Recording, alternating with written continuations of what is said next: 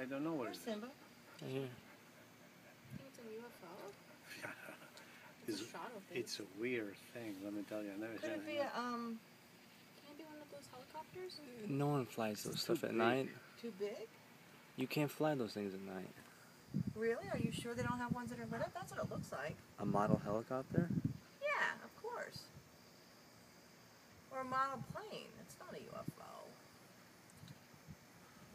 Why Do you have your close? binoculars, Monica? No, you're not gonna see anything at night. Might.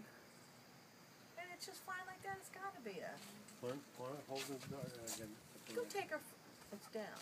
Go take her for a walk. Like, stop doing that to the dog.